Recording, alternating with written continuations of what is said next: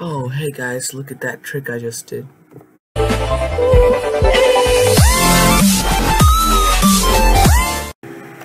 Hey guys, welcome back to my channel Teach Magic. Today I would like to thank you guys for giving me 200 subscribers as you can see right here.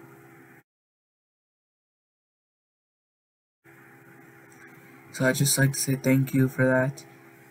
I'm going to be making a special video on that. I'm going to be teaching a card trick. I don't know what's so special about that, but it's going to be special. So, don't forget to subscribe to me. Give me to 500 subscribers so I can reveal this trick.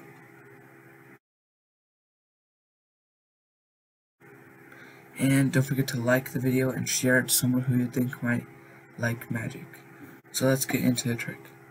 And also I'd like to give a shout out to these two channels over here. I'd like to give a shout out to SM Art and Crafts Academy right here.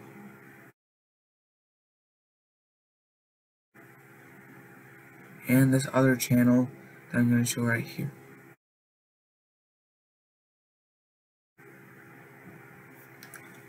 So those are the two shout out winners. And don't forget to subscribe to them and subscribe to me and like the video and let's get into the trick.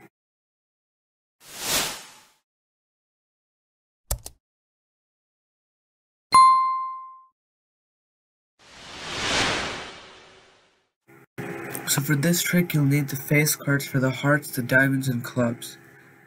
So now, and you'll also need a spectator. But, I don't have a spectator right now, but if I did, I would let you guys do all of this, but for demonstration, I'll just do all this. So first, the spectator will choose any of the piles they want.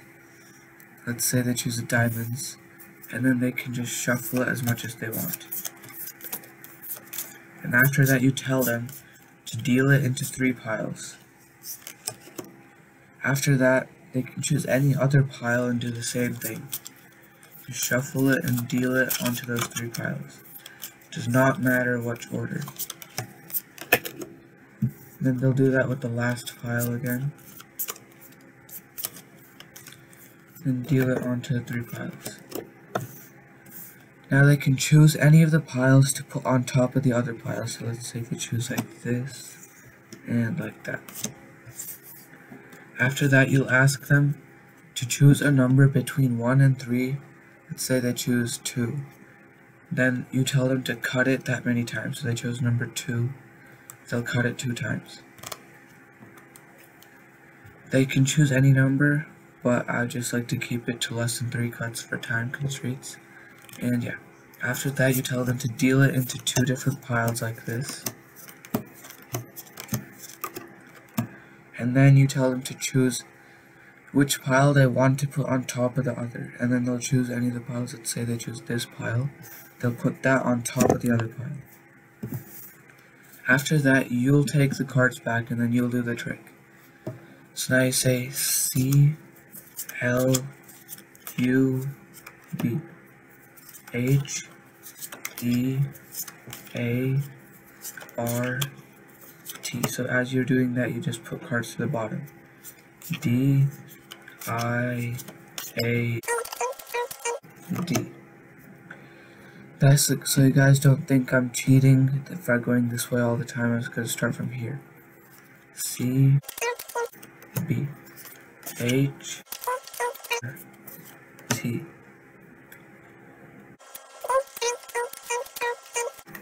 D. Now just do the cards out so, that it saves time. And now I'll just snap my fingers and watch. All the clubs will come back together. All the diamonds will come back together. And all the hearts will come back together. Boom! I actually did it. Let's go. So that's how you do this trick. That's the demonstration of this trick. Don't forget to subscribe and let's get into the tutorial. For this trick you'll just need the face cards for the hearts, the diamonds, and clubs. Again, no spades. The spades will not work for this trick. So, after you get these three piles, you ask the spectator to choose any pile they want. Let's say they just choose the hearts this time. then they can just shuffle it as much as they want. And then deal it into three piles. It does not matter how they deal it. Just need to deal it. And you do that with all the other piles. Just shuffle it, then deal it randomly onto the piles. And to do the same thing with that pile, the last pile. And after you're done with that, to make them feel like they're controlling all of this, you tell them to choose what to put on top of the other. So let's say they just choose like that. Then you ask them to cut the cards as many times as they want. It really does not matter. Say they just cut it two times. Okay. After that, you tell them to deal the cards into two piles one by one. So like that. After that, you tell them to put any card, I mean any pile on top of the other pile. So let's say they choose this pile, they'll put it on top of the other pile. After that, this is the part where you should not mess up. This is very, very important. No plural, okay? C L U B. No C L U B S. And you need to start with club, heart, diamond. So let's just do heart. And then T. And then last is diamond, D. D. Now this is also very important. After you do that, you need to make sure to start from the other way. So you started from here to go here this time. And now you start from here since you started this way. So after that you just start from club again. B, place it here, not here. H, R, T.